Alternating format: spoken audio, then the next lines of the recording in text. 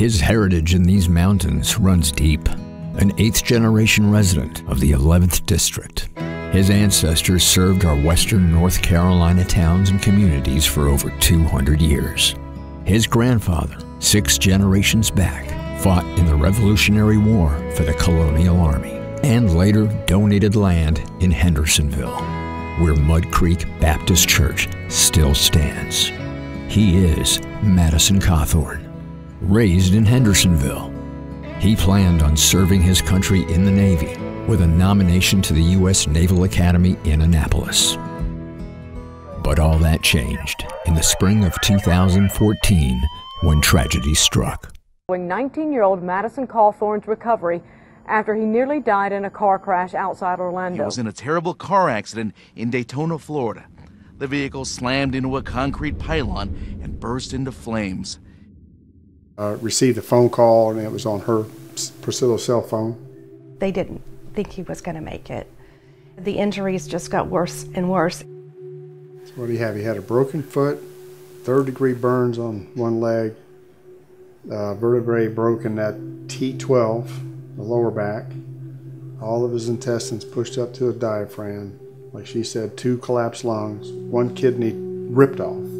And his pelvis was broken. Broke, broken in two places, the pelvis. So he was pretty busted up. God sustained us and he just carried us.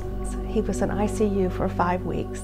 Many times, you know, life and death for the for several weeks. It's it's been a long and hard recovery and he has he has fought every step of the way. But I knew Madison's heart. I knew his spirit.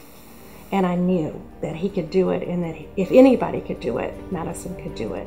His life threatening injuries tested his determination, faith, and courage in ways very few will ever face. It's been a long and sometimes grueling road back to health. But today, six years later, Madison inspires a generation of young Americans to live out their faith, work hard, play by the rules, and pursue the American dream. And now, he's ready to take on the liberals in Congress. I was born and raised here in the 11th District. I can relate to people who feel like they've been dealt a bad hand, who feel like they've been left behind, disenfranchised, whose dreams have been crushed, who feel all alone. To those who are struggling just to make it, I say I hear you and I can relate to you. I'm a millennial. I represent an emerging generation of Americans who are tomorrow's leaders, most of whom think the Republicans don't care about the disenfranchised, the hurting, and those less fortunate. But nothing could be farther from the truth. We are the party of Abraham Lincoln and Ronald Reagan. We are the party who ended slavery, brought down the Berlin Wall and the Iron Curtain. We are the party who stands up for dignity of the individual, for life, for liberty, and for freedom.